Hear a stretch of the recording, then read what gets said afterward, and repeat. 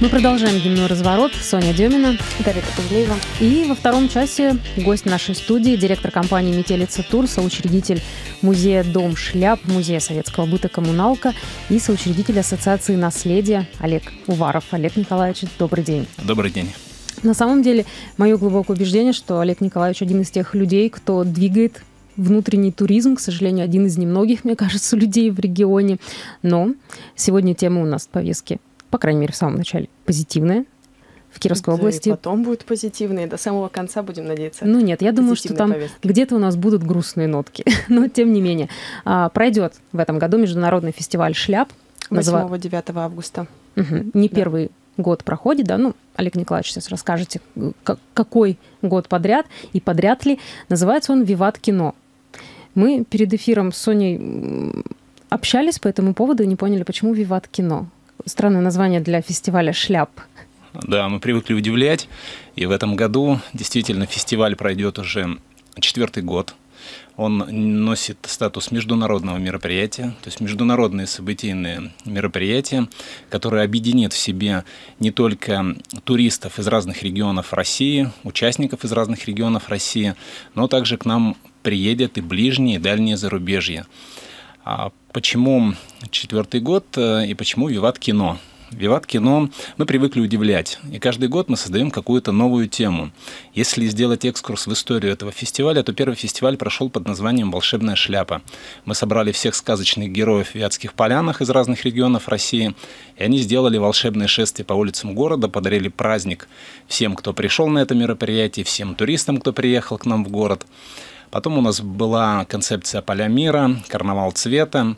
И каждый раз мы пытались удивлять, э, предлагая участникам и туристам новую тему, в которую можно было бы вовлечься, создав какую-то тематическую головной убор, шляпу, вот, и костюм, и приехать к нам на фестиваль.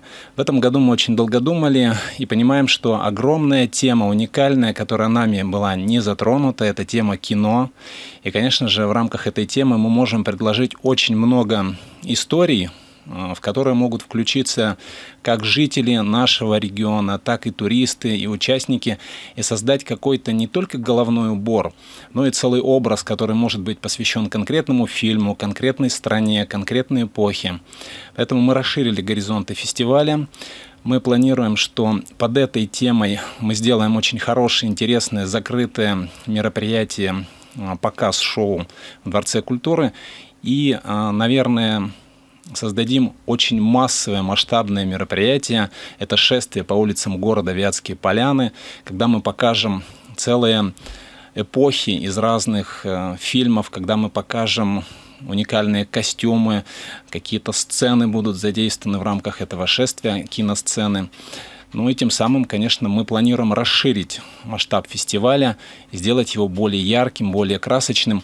Тем более нужно отметить, что в этом году муза и идейный вдохновитель фестиваля стала снова Ирина Гончарова, уже э, нашим всем посетителям, туристам, известная по второму фестивалю, когда фестиваль приобрел значимый статус не только на уровне России, но и зарубежья. И вот э, как раз в 2017 году мы с ней создали новую концепцию фестиваля. Он приобрел вот ту форму, в которой он сейчас находится.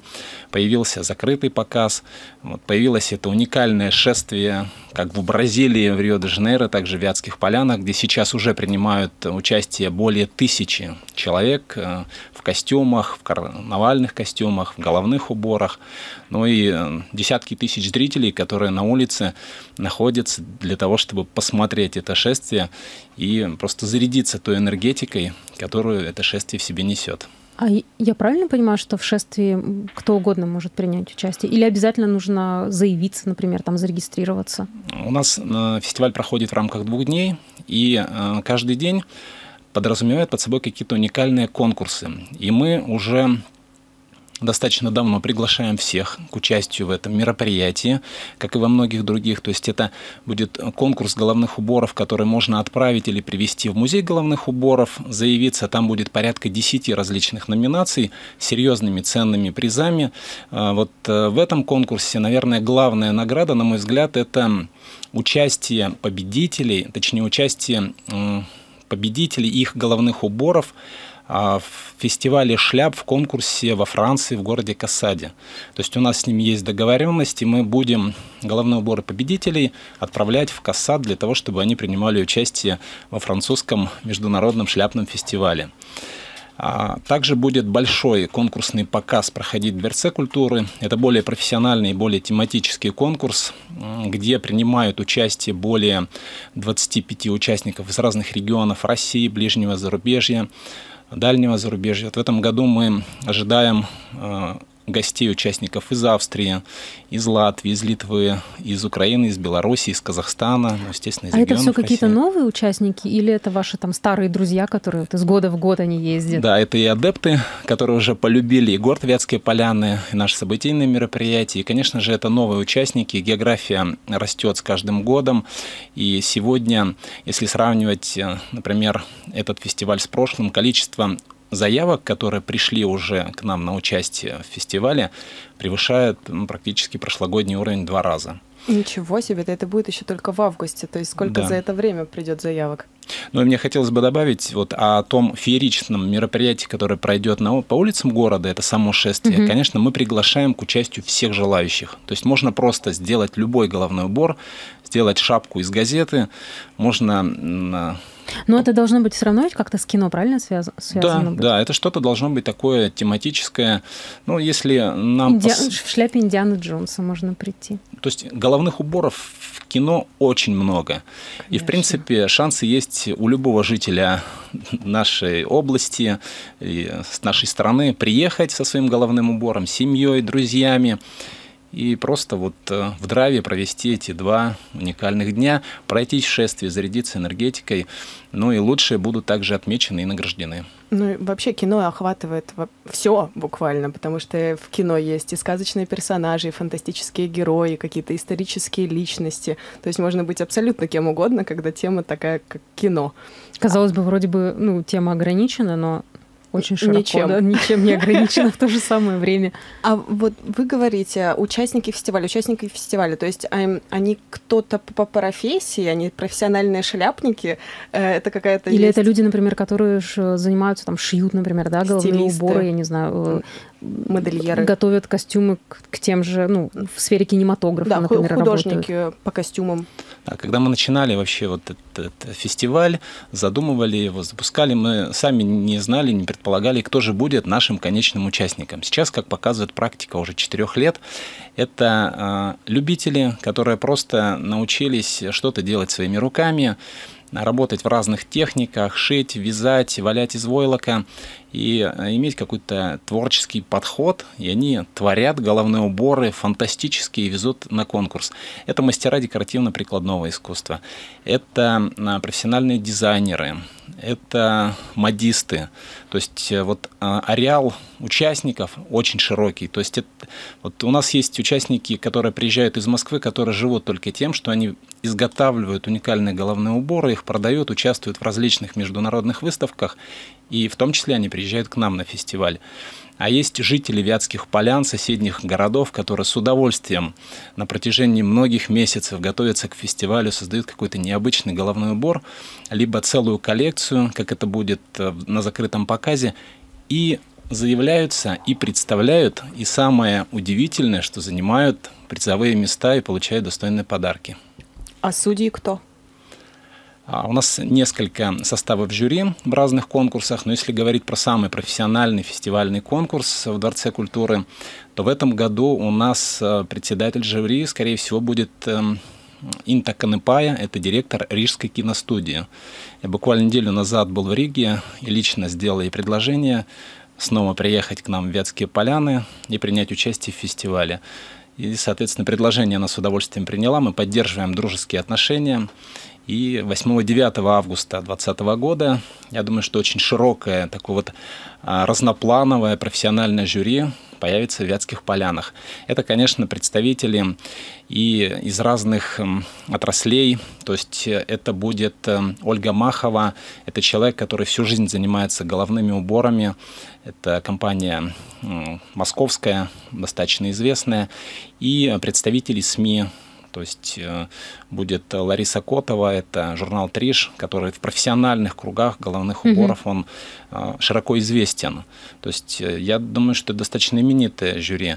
Но и к нам всегда приезжают такие люди, как Игорь Иванович Шевченко. Он много лет организовывал выставку Шапо в гостином дворе в Москве. То есть, ну, вот ну, мне... Это люди, которые имеют, в общем, к шляпам непосредственное отношение, а мы прервемся на 30 секунд, после продолжим. Продолжаем дневной разворот. А, Олег Николаевич, несколько раз вы упомянули закрытый показ. Это что за мероприятие будет? Почему оно закрытое? Туда какое-то ограниченное количество людей попадет? Да. А, если подробнее, то это а, сам конкурс, показ, он будет проходить в Вятских полянах в Дворце культуры Победы. Дворец культуры Победы вмещает порядка тысячи человек вместе с балконом. И мы на сцене Дворца культуры делаем двух с половиной часовой показ, в рамках которого каждый заявленный участник показывает не просто свои какие-то луки, а целые показы, представления от 3 до 5 минут, и все это будет как раз связано с кино. То есть э, каждый участник выбирает тему из того или иного фильма и воссоздает эту тему на сцене Дворца культуры, украшая эту э, сцену своими головными уборами, коллекциями, одеждой, ну и целыми луками. То есть у нас там как раз будут разные номинации на лучший головной убор, на лучшую коллекцию, на лучший лук на лучшую презентацию своей коллекции. А, как правило, мероприятие из практики собирает полный зал и проходит на одном дыхании, поэтому приглашаем, пользуясь очередной возможностью всех желающих. И, и это вход по билетам, вот мероприятие? Да, приобретаются билеты, там принципе, достаточно символическая цена. Ну, да, Но солдат что... обеспечен, да, я так понимаю. Да, время ли уже покупать билеты на август? А, нет, билеты уже распроданы, да? Нет, билеты еще не распроданы. Я думаю, что через месяц-два начнутся продажи этих билетов. Вот, и это будет проходить в первый фестивальный день, угу. где-то ориентировочно в 17 часов. А, вопрос денег. За чей банкет? Ой, за чей счет банкет? Потому что мероприятие масштабное, масштабное и столько людей. Вложений в любом случае требуется немало. И нужно же привести вот гостей, как они приезжают. Так, так, тот же директор Рижской киностудии, это же ну, трансферы, самолеты. Ну да, это трансфер, проживание, питание и хедлайнеров, и членов жюри, и ведущих участников. Конечно же, мы эти расходы однозначно берем на себя, как принимающая сторона. Вот. Из практики э, уже так сформировалось, что это практически 100% частных инвестиций. Основные средства мы инвестируем собственные и пытаемся привлекать эм, спонсоров, благотворителей, которые какими-то суммами готовы пожертвовать для того, чтобы фестиваль состоялся на достаточно высоком уровне. А, а благотворители это люди все вот из, у вас из Вятских полян или кто-то из кировских присоединяется? Или, или из международных ну, да. меценатов. Я был бы очень рад, если бы к нам присоединились кировские благотворители, международные. Вот я приглашаю таких благотворителей, но пока это, конечно, такой узкий круг э, тех людей, кому это мероприятие не безразлично, и они находятся в основном в Вятских полянах. Угу. Ну и нужно сказать, что в этом году мы выиграли президентский грант. Да, они о безразличных людях. В общем-то, вот э, соседнее здание, там люди тоже говорят, что им не безразличны мероприятия, которые проходят в малых городах области, но э, Почему президентский грант? Как так? Почему не, не местные какие-то помощи государства, регионального или, э, не знаю, городского большого бизнеса? Ну, одно из самых больших желаний, э, когда мы проводим фестиваль, у нас есть желание, чтобы нас заметили. Заметили на уровне региональной власти, на уровне федеральной власти. И вот случилось чудо, мы заявились на президентский грант, и в этом году победили и получили президентский грант. Он, конечно, не покрывает все те расходы, которые а мы несем. Какова? А сумма его порядка 400 тысяч рублей. А, ну то есть совсем небольшой. Да, мы не заявлялись на большой грант, у нас не было такой цели. Э, мы первый раз это сделали. У нас задача попробовать поработать с угу. президентским грантом, эффективно поработать. Э, ну и, конечно, основная сумма средств также будет э, частных инвестиций. Но нам очень приятно, можно сказать, что одна из наших мечт, желаний исполнилась. Нас на федеральном уровне заметили, и наш проект отметили, и даже выделили определенные деньги. И сейчас мы очень рассчитываем, что региональная власть тоже обратит внимание на это событийное мероприятие, потому что, на наш взгляд, все-таки это это одна из немногих позитивных историй, которая привлекает внимание и туристов, и потенциальных инвесторов э, к таким малым городам России, как Вятские поляны. Да, а вот поговорим о всех этих людях, которые приедут. Э, могут ли Вятские поляны разместить внутри себя весь этот поток туристов? То есть это уже не первый год, четыре года, получается, фестивалю. Я так понимаю, каждый раз это количество наверняка растет, потому что кто-то да. приезжает, потом приезжает уже со своими друзьями, знакомыми. И да, и постит в Инстаграм, и знают все его друзья и знакомые, может, кто-то соберется автономно. И вопрос, как они все размещаются, меняются ли Вятские поляны, пока идет этот фестиваль, потому что нужно подстраиваться под такое большое мероприятие. Да, вы решили пройтись по больному, да, как говорится. Да, действительно, мы э, очень много сейчас прикладываем усилий для того, чтобы э, узнаваемость фестиваля росла. И вот, э, к слову сказать, мы планируем в марте участвовать вместе с Кировской областью и ТИЦем, нашим ТИЦем в Интурмаркете для того, чтобы еще большее число аудитории охватить, пригласить участников и туристов на наш фестиваль. Но, конечно, больной темой для нас остается инфраструктура города, которая на сегодняшний момент в принципе не рассчитана для приема большого количества гостей. Но есть очевидные плюсы. То есть на протяжении этих четырех лет я наблюдаю тенденцию а, к изменению сервиса в городе. То есть появляется общепит. И за четыре года мест, где можно хорошо покушать, стало значительно больше в городе. Я э, думаю, что, наверное, какая-то толика и заслуга есть и нашего фестиваля в этом. А, конечно же, с объектами размещения тоже мы испытываем определенные трудности, но плюс э, здесь в том, что есть рядом Казань, куда можно mm-hmm. поехать остановиться, есть соседние небольшие города, есть какие-то базы отдыха вокруг города Вятские поляны, ну и количество мест для размещения, в принципе, в определенной части в городе тоже выросло. И, а, мне кажется, появляется постепенно в Вятских полянах некая философия гостеприимства, когда люди из сурового города Вятские поляны, где привыкли Ты ковать оружие победы всегда, уже начали понимать, что турист для города важен, он везет деньги, он идет кушать, он покупает сувениры, он ходит по музеям, и это важно для города, и люди это начинают э, видеть, сдавая при этом вот уже посуточно какое-то жилье в рамках там больших мероприятий. Вот. Ну а проблему решать мы планируем за счет в том числе и организации палаточного городка. И вот здесь нужно сказать, что новая история в рамках фестиваля появится. Это открытые кинопоказы под открытым небом в рамках фестиваля. Мы вечерами планируем вот как раз э, вокруг палаточного городка сделать такие импровизированные сцены и будем показывать фильмы. Слушай, ну это, это вообще нельзя пропустить пропустить просто. Конечно, ночью под звездами в палатке смотреть кино, лежать в спальничке. Ну вот смотрите, да, мне кажется, что вопрос э, с тем же самым, например, фондом, да, гостиничным, условно его назовем, наверное, можно было бы решить, если бы, опять же, подключались бы там те же самые региональные власти, и, например, а, таких вот событий в Вятских полянах было ну, там 3-4 в год, да, чтобы у бизнеса, например, был какой-то стимул для того, чтобы открывать какой-то, да, вот, например, небольшую гостиницу, и ты бы понимал, что люди приезжают в город не один раз в год, а три-четыре раза в год. И ты не то, что знаешь, как этот, как Новый год, когда вот срубить денег во время корпоратива, ну, также э, фестиваль шляп должен был привлечь внимание к музею шляп, дом шляп. Э, я так понимаю, то, что... А, ну еще и музей советского быта коммуналка. Да. То есть время-то провести есть где. Э, то есть действительно растет ли туристический поток Вятские поляны за это время вне дней фестиваля, а просто в обычной жизни? Приезжают ли люди из разных городов? Ну, по, по моим наблюдениям однозначно растет. То есть как, как я делаю это выводы, я смотрю, например, в книгу отзывов ежегодно, и география у нас э, становится все шире и шире. То есть из разных регионов, из разных городов приезжают, иногда в гости просто приезжают к родственникам, иногда целенаправленно в выходные едут целые группы микроавтобусы для того, чтобы пройтись по музеям города.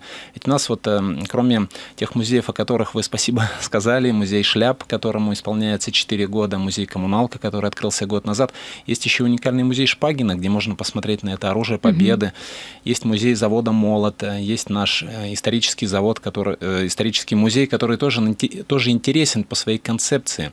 И у нас уже, в принципе, в рамках маленького города существует пять э, самодостаточных музеев, которые можно посетить.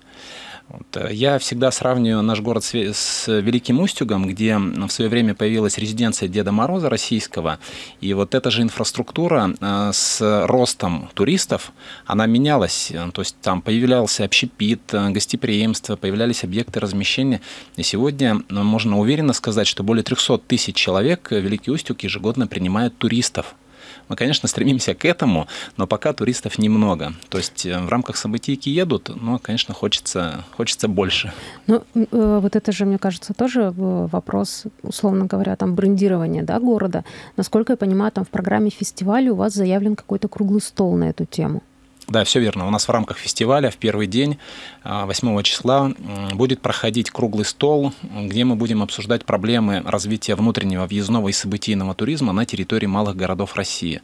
То есть мы а, хотим сделать его в рамках межрегионального формата, пригласить э, участников из э, Татарстана, из Удмуртии, из Кировской области, из Мариэл и поговорить о том, какие проблемы малые города испытывают и поделиться опытом, то есть разобрать какие-то кейсы. И в рамках...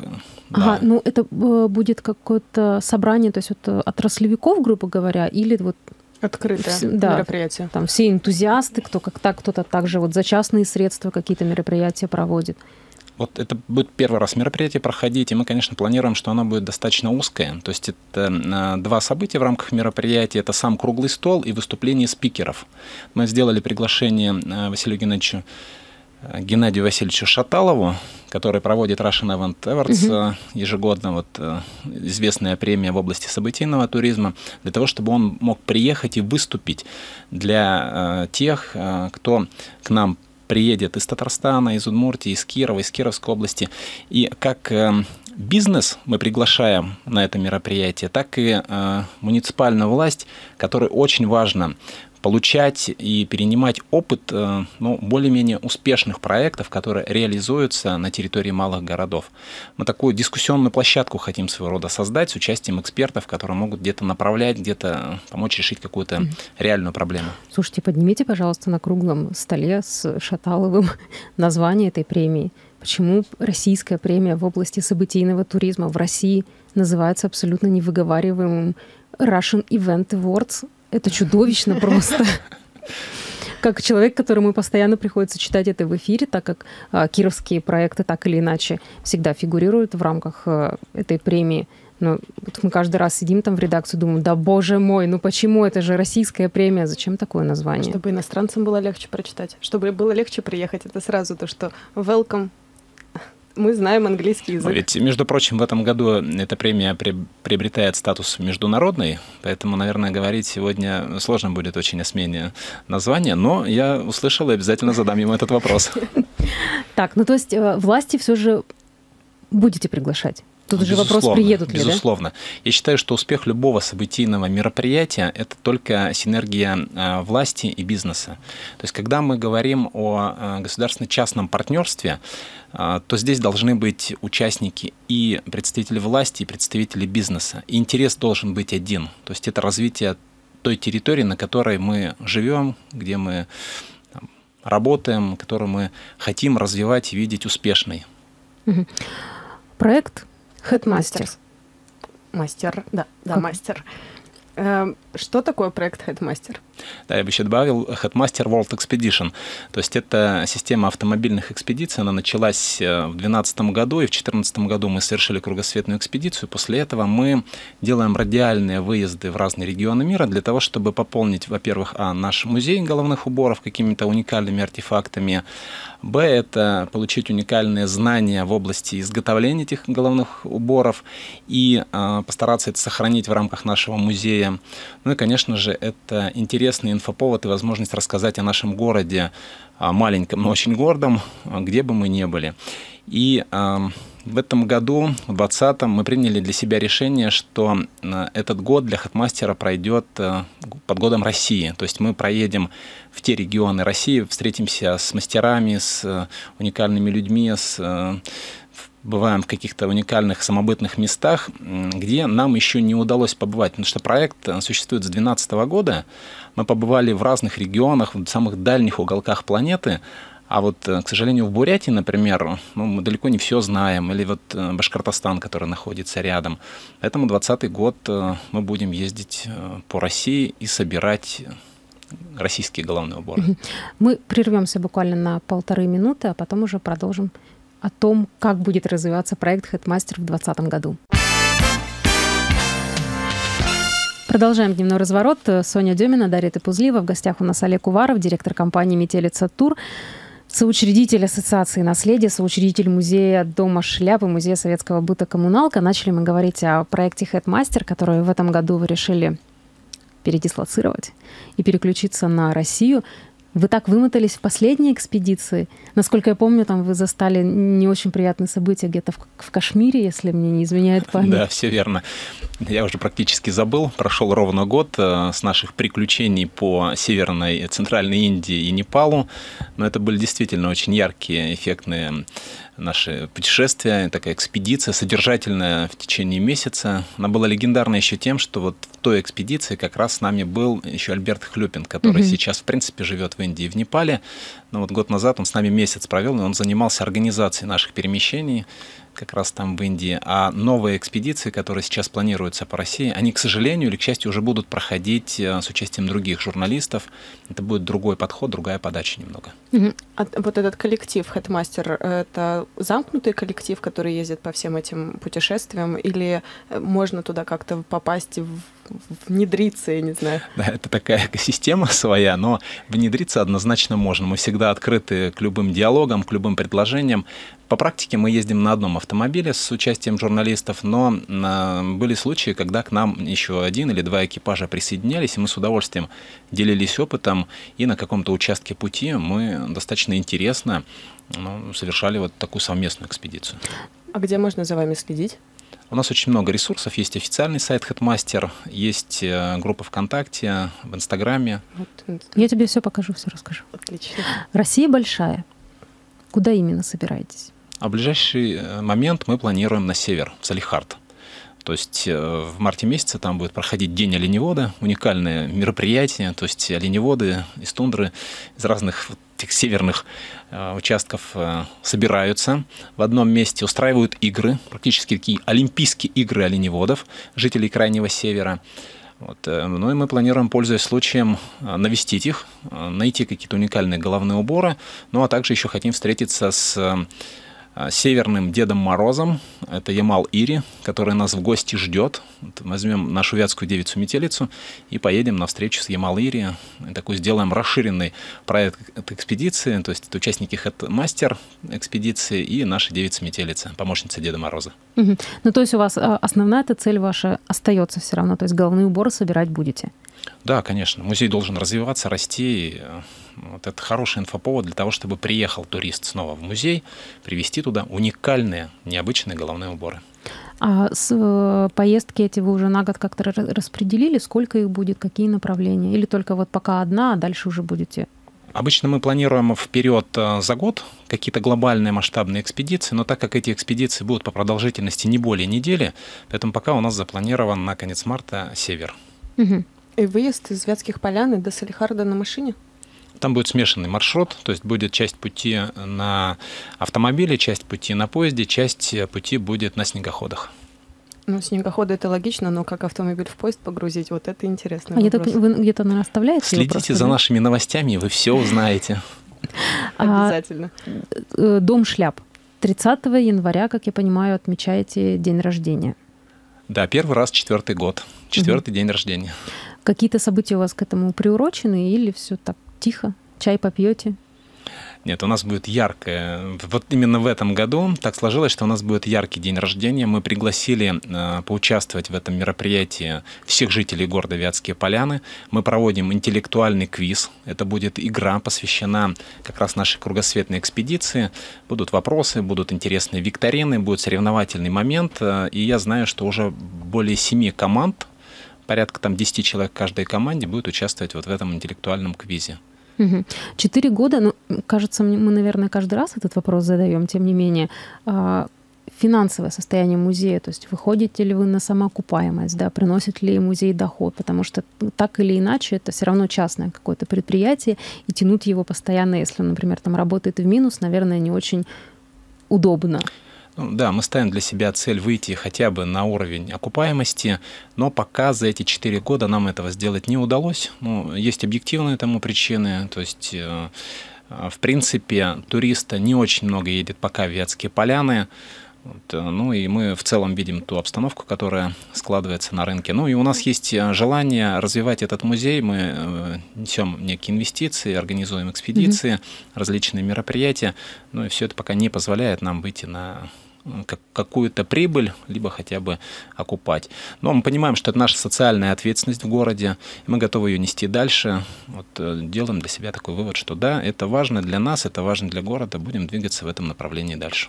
Ну, вы подаете такой замечательный пример всем людям, которые живут в городе, особенно молодежи, которые могут что-то сделать, и есть силы и смелость, потому что самое важное, мне кажется, это даже смелость войти в эту воду и не побояться каких-то, не знаю, прогореть или что тебя не поймут, что ты там будешь какой-то белой вороной. Растет ли команда энтузиастов в Вятских полянах? Есть ли такое то, что действительно возникают какие-то маленькие проекты, э, начинающиеся, особенно каких-то, не знаю, у школьников, к примеру? Кого-то вы вдохновили. Да. Да, я думаю, что э, достаточно большое количество э, ребят, молодых, активных, и смотрят на нас, и берут примеры, даже приходят за какими-то консультациями. Сразу возникает пример из жизни, когда мы собирались этот проект реализовывать, нам в комментариях всегда писали, не всегда, писали в комментарии, лучше стройте теплицы, выращивайте клубнику или огурцы, чем ездить куда-то, открывать музеи.